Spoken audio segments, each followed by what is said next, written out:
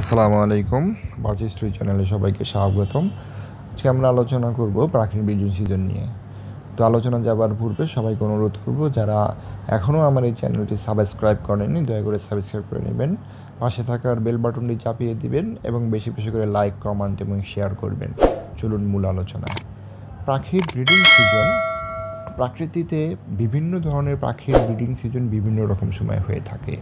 প্রাকৃতিতে যখন যে ফলটা বেশি পাওয়া যায় বা যে খাবার বেশি পাওয়া যায়, সেই ধরনের পাখি যে পাখি খায়, সে ওই সময়টাতে পাখি ব্রিডিং করে। এখানে লক্ষণীয় বিষয় হচ্ছে পাখি তখনই ব্রিডিং করতে চায় যখন সে যথেষ্ট পরিমাণে খাবার পেয়ে থাকে এবং সে নিজে খায় এবং তার বাচ্চাকে খাওয়ানোর জন্য সে, ফল বা খাবার সংগ্রহ করতে পারে।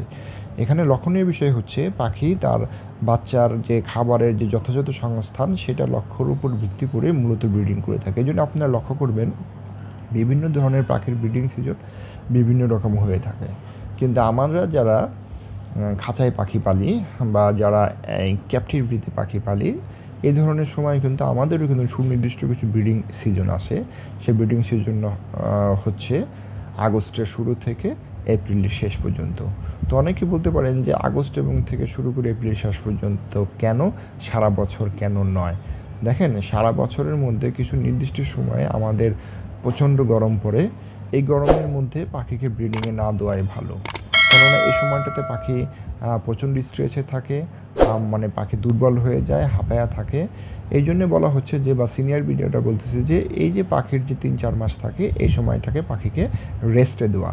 এবং এই রেস্টে দেওয়ার সময় আপনি পাখির যাবতীয় যত্ন নিতে পারেন, পাখিকে ভরপুর খাবার দিবেন, পাখিকে ভিটামিনের কোর্স করাবেন মাল্টিভিটামিনের কোর্স করাবেন ক্রিমির কোর্স করাবেন, বিভিন্ন ধরনের কোর্স এই সময়টা থেকে করায় পাখিকে ব্রিডিংয়ের উপযুক্ত করে তৈরি করা। এবং তারপরে আগস্টের শুরু থেকে আপনারা হাড়ি লাগাবেন এবং একটানা মার্চের শেষ পর্যন্ত বা এপ্রিলের শেষ পর্যন্ত ব্রিডিং নেবেন।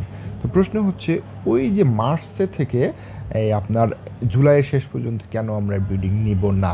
কি কেন নিব না? এটার প্রশ্ন হচ্ছে, এই সময়টাতে প্রচণ্ড গরম থাকে, পাখি প্রচণ্ড রকমের দুর্বল থাকে, হাঁপা মানে হাঁপায়া যায়, পাখি গরমে থাকে, ঠিকমতো সে কোথাও বসতে পারে না, উঠতে পারে না। তো এই সময়ে যদি আপনি পাখিকে ব্রিডিংয়ে দেন, তাহলে পাখি খাঁচার মধ্যে বা হাড়ের মধ্যে সে ডিমে তা দেওয়া অবস্থাতে মারা যেতে পারে। এক্ষেত্রে হয় কি, আপনি এত কষ্ট করে সারা বছর বা দুই তিন বছর ধরে আপনি একজোড়া ব্রিডিং পাখিকে তৈরি করেন। তো এই সময় সামান্য একটু ভুলের কারণে আপনার ব্রিডিংয়ের পাখিগুলো মারা যায়। তাই অনুরোধ করব যে আপনারা প্রচণ্ড গরমের সময় পাখি ব্রিডিংয়ে দিবেন না এবং ওই সময়টাকে পাখিকে আপনারা বিভিন্ন ধরনের কোর্স করাবেন, ফ্রুট খাওয়াবেন, ভিটামিন খাওয়াবেন, পর্যাপ্ত পরিমাণে খাবার দিয়ে পাখিকে শারীরিকভাবে সুস্থ করবেন, যাতে সে আগামী ছয়, সাত মাস সে একটানা ব্রিডিং করতে পারে। এবং ওই ছয়, সাত মাসের ব্রিডিং করার ফলে তার ভিতরে যেরকম স্ট্রেস আসবে, তার ভিতরে যেরকম বিভিন্ন ধরনের ভিটামিনের ঘাটতি আসবে মিনারেলের ঘাটতি আসবে, ওই ঘাটতিগুলো পূরণ করার জন্য পাখিকে চার থেকে পাঁচ মাস বা তিন থেকে চার মাস রেস্টে দেওয়াটা খুবই ভালো। এখন প্রশ্ন হচ্ছে গিয়ে পাখির জন্য ব্রিডিংয়ের জন্য কি ধরনের তাপমাত্রা দরকার? পাখির জন্য ব্রিডিংয়ের জন্য মূলত আদর্শ তাপমাত্রা হচ্ছে আপনার পঁচিশ থেকে আঠাশ ডিগ্রি সেলসিয়াস তাপমাত্রা এবং এটার হিউমিডিটি বা আর্দ্রতা প্রয়োজন হচ্ছে পঞ্চাশ থেকে সত্তর ডিগ্রি সেলসিয়াস। এখন প্রশ্ন করা হতে পারে যে, তাহলে কি এই ধরনের তাপমাত্রা মেনটেন করে কি সারা বছর কি আমরা ব্রিডিং নিতে পারি না? হ্যাঁ আমরা সারা বছর ব্রিডিং নিতে পারি এই ধরনের তাপমাত্রা, আর্দ্রতা মেনটেন করে, কিন্তু কিন্তু সারা বছর ব্রিডিং নেওয়ার পরে পাখির উপরে যে এত প্রেশার পড়ে, পাখি যে এত কষ্ট করে, এতে করে পাখির লংজিবিলিটি বা পাখির আয়ুষ্কাল কমে যায়।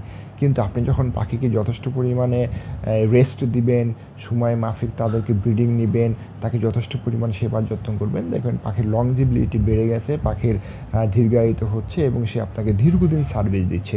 এবং দীর্ঘদিন সার্ভিস দেওয়ার ফলে কি হবে? আপনি অনেক বেশি বেশি ডিম বাচ্চা পাবেন, বেশি বেশি বাচ্চা পাবেন, বেশি বেশি আপনার মনে ফুর্তি আসবে এবং যদি আপনি বিক্রি করে থাকেন তাহলে বেশি বেশি লাভ পাবেন, যদি আপনি কাউকে দিয়ে থাকেন তাহলে বেশি বেশি বাচ্চা বিভিন্ন জনকে দিতে পারবেন। তাই আমি আপনাদেরকে অনুরোধ করব, আপনারা নির্দিষ্ট যে আমাদের যে ব্রিডিং সিজন বলতে আমরা যা বুঝি আগস্ট থেকে এপ্রিল বা মে শেষ পর্যন্ত, ওই সময়টাতে আপনারা পাখিকে ব্রিডিংয়ে দিবেন এবং ব্রিডিং করাবেন এবং বাকি এই কয়েক মাস পাখিকে রেস্ট দিবেন। ধন্যবাদ এতক্ষণ আমার এই ভিডিওটাকে যে শুনলেন, সবাইকে ধন্যবাদ। আসসালামু আলাইকুম।